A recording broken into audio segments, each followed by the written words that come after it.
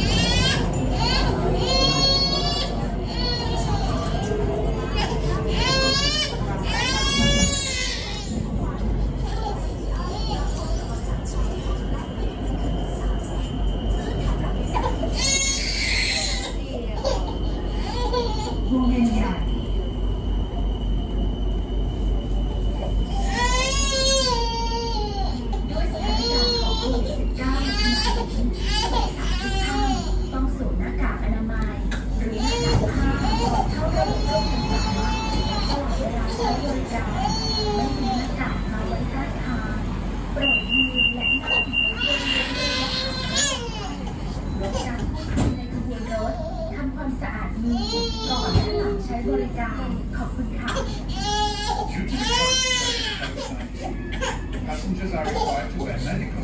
Or over-the-top face masks?